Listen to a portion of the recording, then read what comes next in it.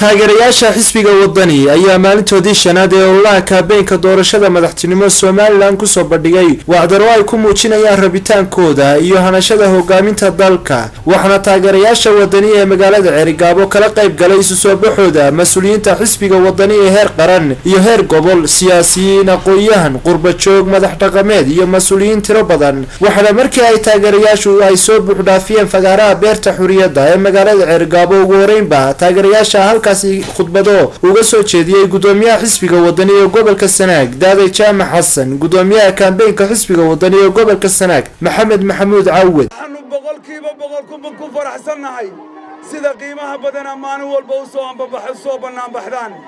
Sida qiimaha badan ee aad maalin walba reer kulmiye a dhexda uga jabisaan. Reer kulmiye maalin walba way sii shiiqayaan.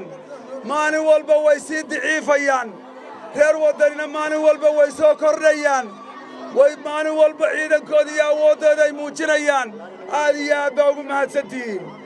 Maanta dad badan baa inoo joogo hadalka badin mayno.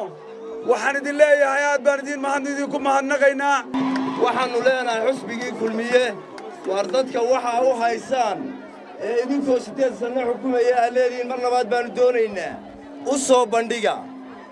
Dadku waa aqoon-yahan waxay garanayaan waxaa u dantaa waxaa iyaguna halkaasi ka hadlay mas'uuliyiin waayeel cuqaal aqoon-yahan siyaasiyiin iyo waxgarad tiro badan. Dhammaantoodna ku dheeraaday in shacbiga reer sanaag diyaar u yihiin curashada isbeddel cusub.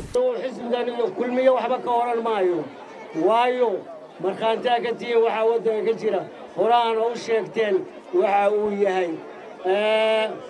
Gobol halkaas soomaaliya ah oo mudug lagu magacaabo baa wuxuu yidhaahdaa labaatan jir mudug jooga ilaahigay uma xilqarin. Intaasaa kulmiyeygaga filan ani. Taariikhdii kun iyo siddeed boqol iyo afar iyo siddeetankii waxa dhaliyey oo wax la qortay oo ingiriis wax la qortay reer bari oo reer cergaaba ugu horreeyaan. Halkan farriin uga dirayaa hablo maalin dhoweed ka hadlayey waaheen xarunta waaheen hablo ka hadlayey marwada qaranka maalin ay halkaa booqanaysay. Laba hablood oo ilmaadeera cabdiraxmaan bay wax ka sheegayeen. Annagu haddaannu nahay hablaha reer waddani meel kastaannu joogno waxba kama sheegno musharaxiinta reer sanaag waa midaysan yihiin. Waa gacan keliya. Shalay halkan dad baa ka hadlayey ceel afweym qaar baa ka hadlay.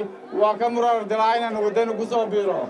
Aad bay ii maagayeen. Anugu kuwaa u jawaabi maayo sababtoo ah markaan kulmiyaha halkaa joogi jiray. Fagaare ay taagnaayeen may hadli jirin iyagu.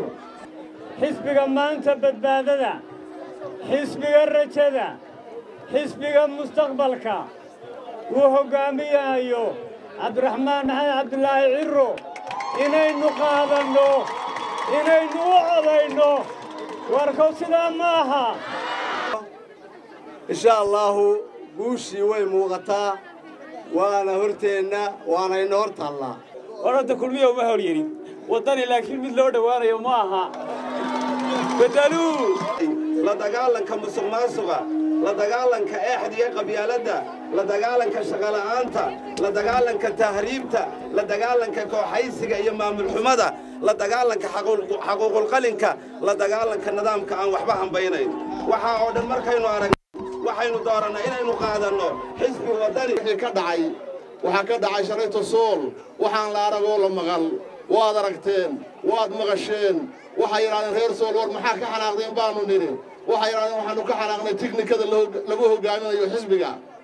Innagu innagu ma wadanno waxaynu u baahannahay isbeddel. Isbeddelkana waxaa gacanta ku haya shacabka shacabku awooddooda ha isticmaaleen waxaan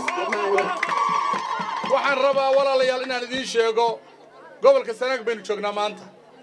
Bal waxaad eegtaan kow iyo tobankii bilood ugu dambeeyey hay'adaha qaranka ee masala wasaaradaha masala waa isuduwayaasha ay wakiilladu u yihiin. Kow iyo tobankaa bilood kabkoodii iyo lacagtoodii hal shirin looma soo dirin siciid muuse faarax sab t v ceerigabo